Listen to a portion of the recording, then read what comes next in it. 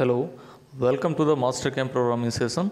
So in this session, I will I will show you that how we can do the programming.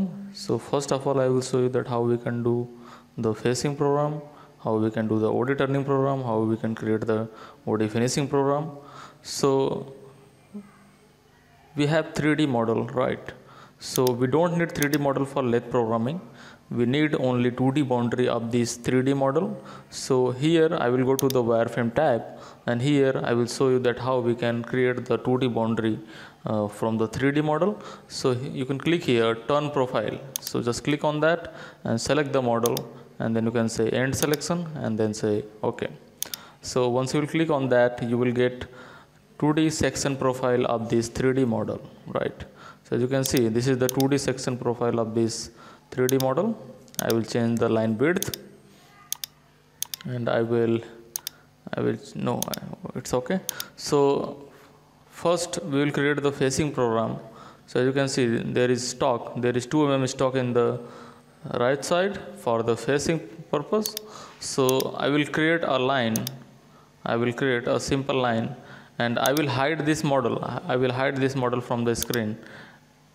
So I will I will select these lines and I will go to the home tab. And I will say hide so as you can see this is the 2D boundary which we need for programming purpose. So in the turning cycle uh, you will get the general cycle as you can see there is multiple options available first one is roughing finishing drilling facing cutoff. So these are all are the cycles which we have to use for programming purpose and here you will get some more option that is canned cycle related. So if you have to create editable program, if you want to create editable program, uh, so you can use these canned cycles. So multiple option is there. First one is for roughing, OD turning, OD finishing, grooving and pattern roughing. So these all are the canned cycle and these all are the general cycle. General cycle means you will get uh, lengthy programs. So that will be non-editable and this one will be editable. So as per your choice, you can use the both strategies. So first of all, I will show you facing program. So I will select on that and uh, as you can see, uh, this is the new window. So here we have to define the tool which tool we have to use. So here, you can select this is R.8 tool. So you can double click on the tool, just do double click, you will get a new window. So th these all the details of that tool that insert. So if you want to customize, you can customize that. You can select here get insert. So once you will click on that, you will get the library of the insert. So you can select that here. So which insert you need, you can select that from here. So normally we will use TNM CNMG 1204.8. So here you will get the dimension of insert. So if you have to customize it, you can customize that from here. This is the 12, that is insert diameter. This is the thickness of insert. This is the corner radius of that insert. And if you want to customize the corner radius, you can customize that from here. If you need 0.4, you can change that from here it's very easy to customize. And in the second window you will, you, you will get a holder holder uh, drawing. So if you want to customize the holder size so you can customize that from here. These are the drawings. A means this width b b means total length. So all the things are available here. So you can customize your holder also. And if you need circular holder so you can select that from here. If you need rectangular you can select that from here. Now say okay so we have selected the tool and uh, next we have to define that which tool number we have to use. First one, tool number one, station number one, offset number one, fine. And here you will get the feed rate that is uh, that is uh, depend on your tool grade and material hardness. So you can you can fill this as per your tool and uh, material. So spindle speed you will get from here. Spindle speed this is RPM. So you can give the RPM value here. So you can give the RPM value as per the tool, as per the diameter. And here you can use CSS. that is constant surface speed so in the constant surface speed if you select on this option so you can't give actual actual rpm here. So you have to give minimum rpm and maximum rpm so program will uh, generate in g96 in and g97 so you will get a, a different type of rpm as per your uh, job diameter. So your your feed rate, uh, your rpm will increase your rpm will decrease as per the job dia. Okay so these are all the things uh, which we have to fill after selecting the tool and here you can customize your home position. So if you want to uh, if you want to change if you want to customize the home position if you want to start from here if you want to if, you want to start from here so you can change that from here. You can so you can say from machine you can say user defined. So you can define that from here select. So suppose you want to start from here. So you can select that your tool will start from here and then it will come here. And then say okay and the next you have to go uh, that is face parameter. So in the face parameter you will get some options. That is uh, select points.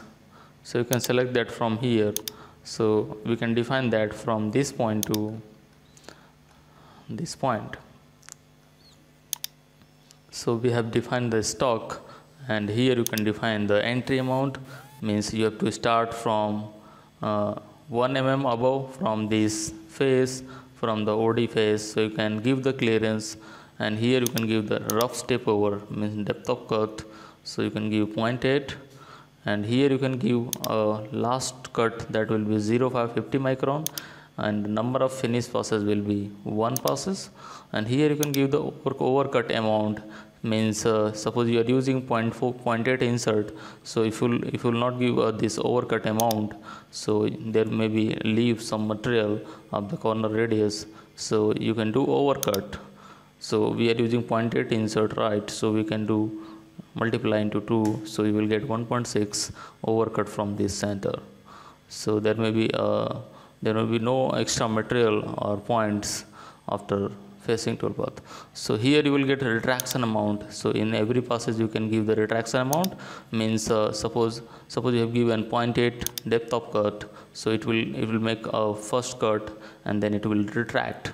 So that retraction value you can give here and stock to leave option is there so if you want to stock if you want to leave some stock for finishing purpose so you can give that from here and if you don't want you can make it zero and uh, these are all the compensation value uh, suppose you want to uh, you want to uh, generate your program in wear d value in d value so you can do uh, you can select on this wear compensation.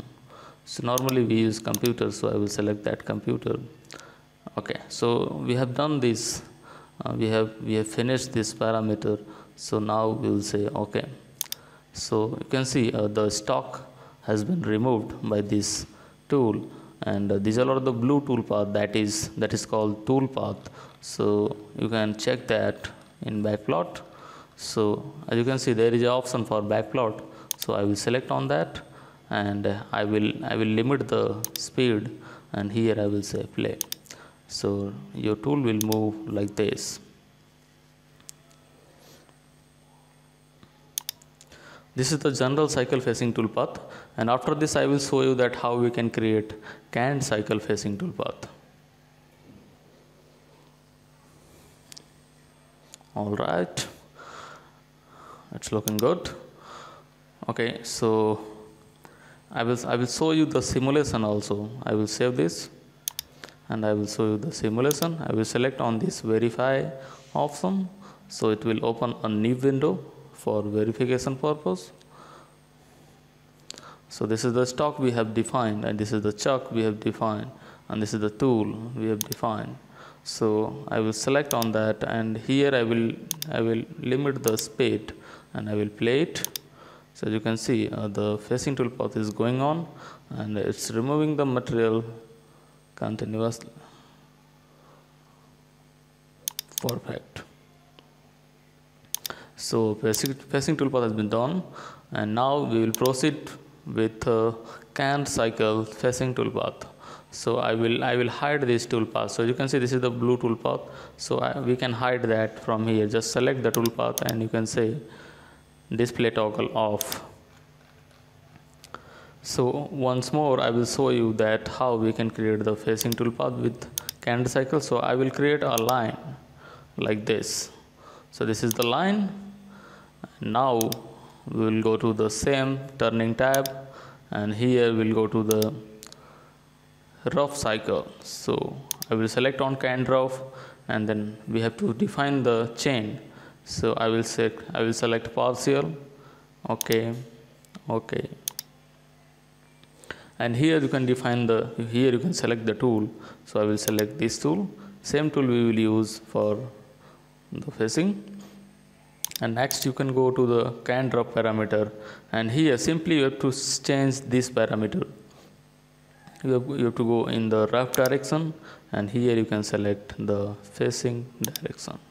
So select on that. And here you can say stock to leave 0 stock to leave 0 depth of cut 0.8 okay okay. So you can see we have created the canned cycle facing toolpath so you can see uh, the, this tool is moving from here because we forgot to change the home position value. So we'll go to the toolpath parameter and here we will say user defined define the position from here. Okay okay and then say region red. And you can say backplot and then say play this is the canned cycle facing toolpath. And if you need some more passes so you can extend this line. I will show you that. I will go to the wireframe tab and here I will say modify length uh, 1.6 to remove the point and here I will create a line like this. So you can define that value from here. So suppose you have 1 mm stock or 2 mm stock. So you can select that. So you will get the horizontal line like this and then you can define you can change the geometry from here right click and rechain all. Select this chain and uh, this chain. Not that. We we forgot to change the direction actually.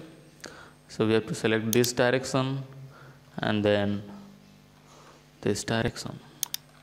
All right. So now we'll select ok okay and then we'll say under the selected toolpath. So you can see uh, there is showing some cuts. So we have given 0.8 mm of cut. Okay. As you can see two passes created with the 0.8 step over like this. So I will show you the backplot also.